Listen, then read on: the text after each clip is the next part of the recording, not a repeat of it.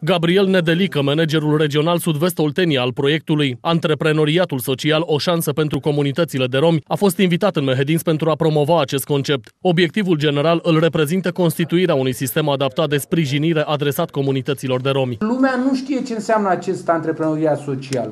Conceptul pentru România mai ales este nou, dar să știți că el există din anii 70 în Europa și are aplicații extraordinar de importante în Italia, Belgia, Franța și în alte țări. Prin acest proiect se urmărește înființarea și dezvoltarea a 20 de întreprinderi sociale în comunitățile de rom din România. Înființăm o întreprindere socială în care toată lumea care se înscrie în întreprindere, cu care pornește întreprinderea la drum, sunt patroni, dar toți acei oameni sunt muncitori în întreprinderea respectivă.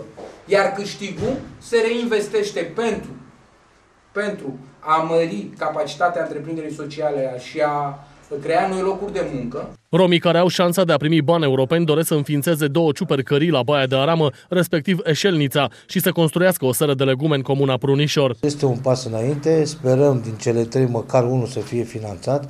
Dacă reușim să aducem unul, este pentru noi am, am devenit județ pilot în antreprenatul social și ar fi o șansă pentru noi, pentru că dacă vom desfășura bine și vom, ne vom încadra și ne vom atinge indicatorii la acest proiect, sperăm să dezvoltăm în tot județul acestei întreprinderi sociale. Comunitatea care câștigă proiectul va beneficia de 25.000 de euro și va fi obligată să angajeze 10 persoane.